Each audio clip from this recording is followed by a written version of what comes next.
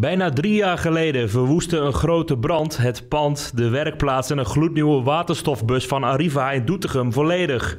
Een spliksplinternieuw onderkomen is woensdag geopend en na enkele jaren heeft de vervoerder nu weer het kantoorpand en de werkplaats samen op één locatie.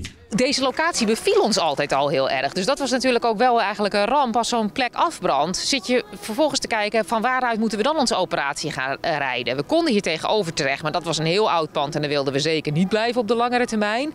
En eigenlijk hadden we maar één wens, en dat is terug naar de oude locatie, omdat vanuit hieruit alles soepel liep. Nou, het duurt even, maar het is gelukt om hier weer terug te komen en dan heb je ook wat. Het onderhoud aan de bussen werd na de brand tijdelijk vanuit een pand in Vassenveld gedaan.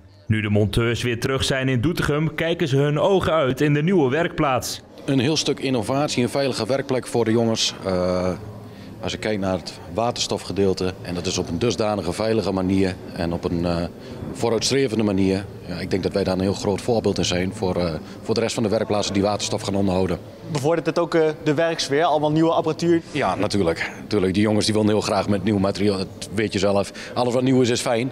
En uh, je merkt wel dat de jongens daar heel blij mee zijn. Ook heeft Arriva al voorgesorteerd om in de toekomst mogelijk meer op volledig elektrische bussen te gaan rijden. We hebben al elektrische bussen in dienst. Uh, en dat is denk ik de eerlijkheid gebied te zeggen.